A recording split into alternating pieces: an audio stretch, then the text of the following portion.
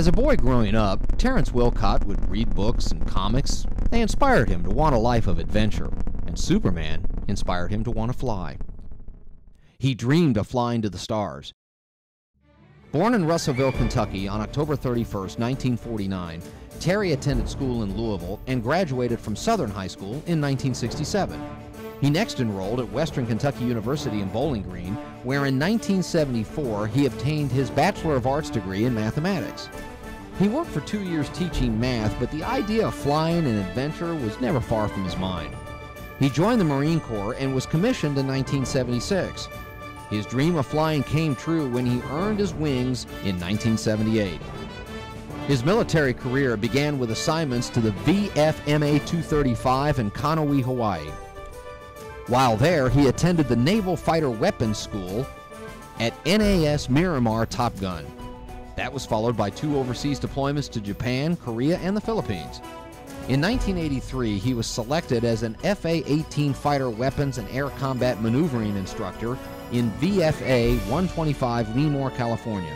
In 1986, he attended the United States Naval Test Pilot School, where he earned the title Distinguished Graduate. Following graduation, he was assigned as a test pilot project officer for the Strike Aircraft Test Directorate at the Naval Aircraft Test Center in Maryland. Wilcutt flew various other aircraft during this tour, including the F-18 Hornet, the A-7 Corsair II, the F-4 Phantom, and various other aircraft to test a wide variety of projects and classified programs. In all, he has over 4,400 flight hours in more than 30 different aircraft. In January 1990, Wilcutt was selected into the NASA astronaut program and became an astronaut in July of the following year.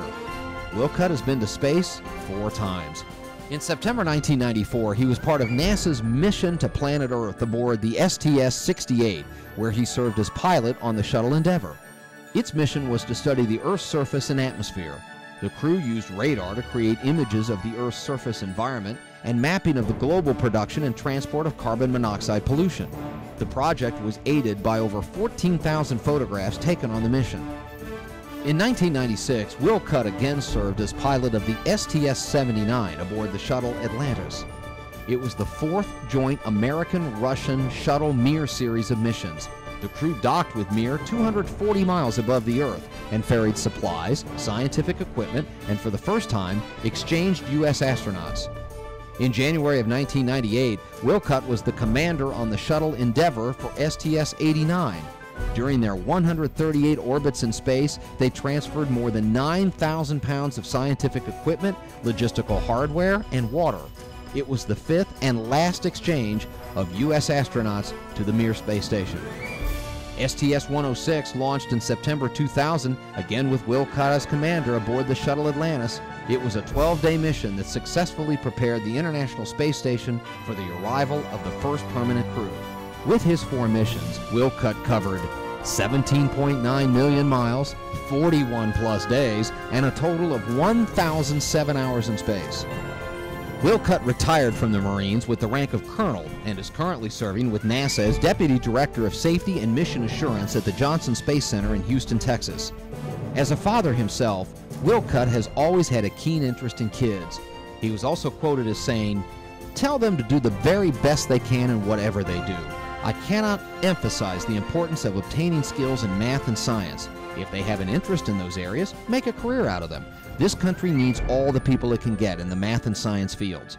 It's important for our country's future. We, as a nation, cannot afford to fall behind other nations in these areas. Parents need to encourage their children to learn all they can. Point out to them how important an education is. They need to read all they can. Being in space has brought about a change in Terry's vision of the world. He has said, during my entire military career, I was trained and taught that the Russians were our enemies, and it was my job to always be prepared to defend this country from them. But from space, Moscow looks just like Houston. And they have a beltway around their city, just like we do in Houston. It just suddenly dawned on me that Moscow contains families in it just like mine, fathers who work just like I do and want a better future for themselves and their children. When you see things from a global viewpoint, it really has a strong effect on you. It is therefore fitting that Terrence W. Wilcutt who dreamed of the stars and, unlike most of us, was able to get closer to them, be enshrined into the official Aviation Hall of Fame of the Commonwealth of Kentucky.